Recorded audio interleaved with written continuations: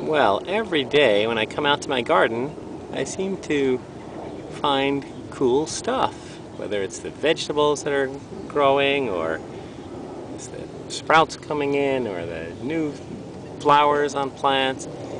But today, I saw this interesting, cool thing right here, and I'm not sure what it is.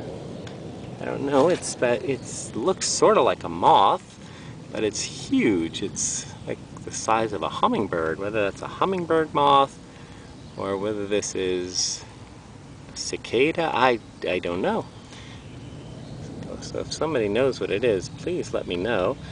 Just for size reference, I'll put my hand close by so you can see. You know, so basically this uh, the size of this guy, he would, you know, my hand pretty much the same distance. You know, he would pretty much fill the palm of my hand. He's got this cool design on his wings. You know, this green design. You could see how he would blend in terrific with leaves and, and such. The camouflaging is beautiful. So if somebody has any idea what this uh, what this is, please let me know. Post a comment. I'm really interested to find out what this guy is. Thanks.